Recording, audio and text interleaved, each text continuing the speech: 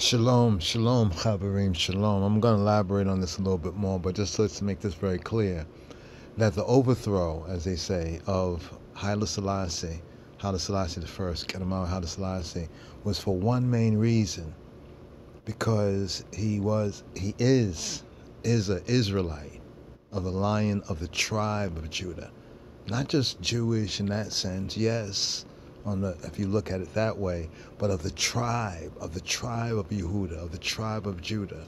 And then we followed along with in the scripture how Ethiopia is presented in two in two main ways. And in one way, there's like a positive and negative aspect of Cush and Ethiopia in the Bible.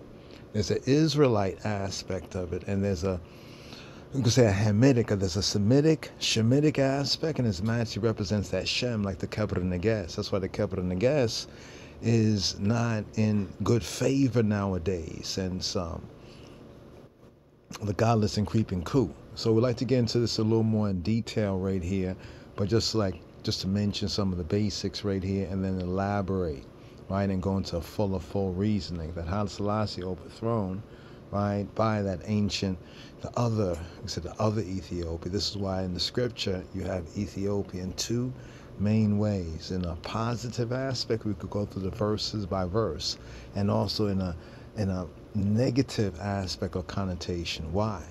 So are you not as the children of the Ethiopians unto me, O children of Israel? Now, many of our people wasn't ready then, but there were those who were ready then. Here you see Marcus Messiah Garvey. We call him like the Black John the Baptist. Remember John the Baptist? Even John the Baptist, who proclaimed, he later seemed to deny and he lost his head. But these two particular men right here, we have Rabbi Wentworth Arthur Matthew, Commandment Keepers Congregation of the Living God, Royal Order of the Ethiopian Hebrews, and then we have the main man over there, right there, on the right hand side, Rabbi Arnold Josiah Ford. These men, as well as those before them, were significant in laying that groundwork for we, the black Jews, of the lion of the tribe of Judah. So the overthrow, so called, the godless and creeping coup, is similar to what we see even in the scripture concerning great King David you notice that when David became king, it was only the tribe of Judah that was loyal to King David. And the 10 tribes, you know, the 10 tribes that was loyal to Saul, it took seven years before they recognized. Something similar is happening even in this dispensation. We look at the number seven and the sevens. Like we said, we'll get into more details right here, but just to show some of the highlights, for example, right here, you see this window over here, Royal Order of Ethiopian Hebrews, Sabbath services, and then we have over here, in this window over here. So that's the main that's the main reason. Of course, some of the latter day 70 AD, 1970 AD Israelites, we have some broken branches and they have to be regrafted, as the scripture says, grafted into one's own, you know, one's own native and natural tree, right? As the wild, the wild the wild olives got to be broken off. And that's what we see going on. Even in Ethiopia today, the whole political situation regarding even the Oromos, the Amharas, and Tigray, that's what's all behind that as well. His Majesty Israelite. It's very easy to prove. When we say Cush, there's a Cush aspect, that's that Israelite aspect. We have Solomon, the Queen of Sheba, facts. Even before that, we have Moshe, Remember Moses and his Cushawit, his Cushite, his Ethiopian wife? These are all the signs, some main signs in the script. But we'll get into more of this as we move forward. Onward and upward, brothers and sisters, just to share a couple of brief words here. Have some more exhibits to share as well. You know, we can trace even with the Israelites, you know, the other Israelites, the other camp, the connection with Abba Bivens, Aharaya, Aharaya, you know. Um, we have Ebba, Ebba, Ebba, Ebba, Ebba Yomim, you know, Benjamin, or better known as Abba Bivens, right? And give thanks right here to um, Brother Abdiel Levy, Lewy, aka Zion Lex, right? This word of His Majesty here to our people. Tell the people to come home here their race originated and here can be lifted to the highest, its highest plane of usefulness and honor.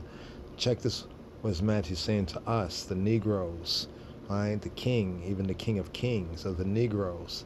And that identification of Ethiopia through the Shem, through the Shem rulers to we black people in the Americas is significant. It was never an argument, you know, that the Negroes and the Ethiopians and the Semites and the Shemites over a hundred years ago, going back to the Roaring Twenties, why, why the difference now? It's that godless and creeping coup. It's that apostasy. The Bible speaks about the great falling away. His message says here to assure them of cordiality with which I invite them back to the homeland, particularly those qualified. Notice what his majesty says right here the King of Kings, the conquering lion of the tribe of Judah, particularly those qualified to help solve our big problem. Note, he doesn't say our big problems What's that big problem?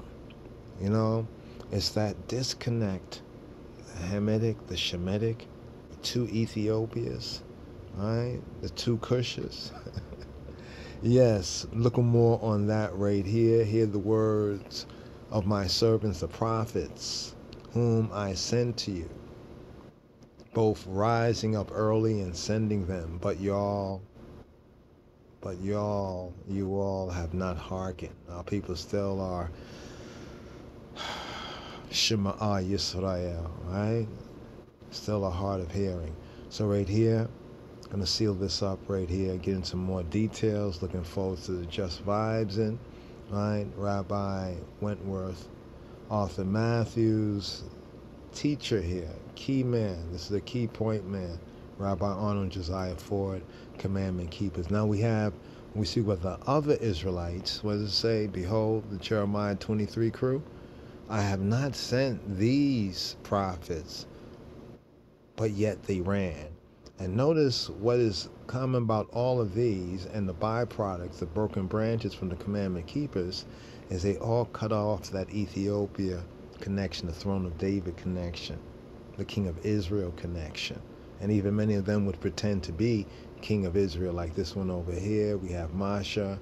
He was King David. We already know about the failed prophecies. What more do we need to say? More to come, y'all willing. Shalom, Chaverim. Shalom.